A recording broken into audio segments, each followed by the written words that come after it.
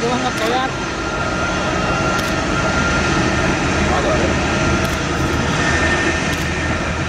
Ay, no. Porque solo lo.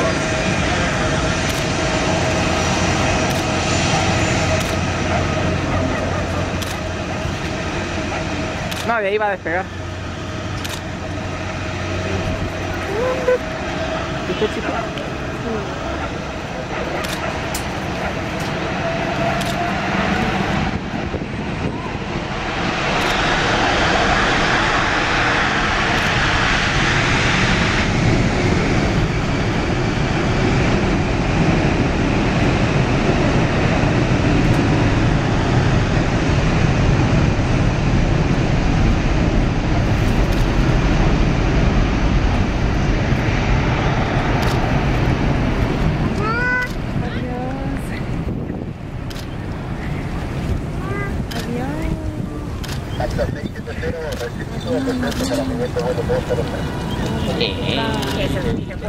A la, a la, a la mitad lo levantó güey.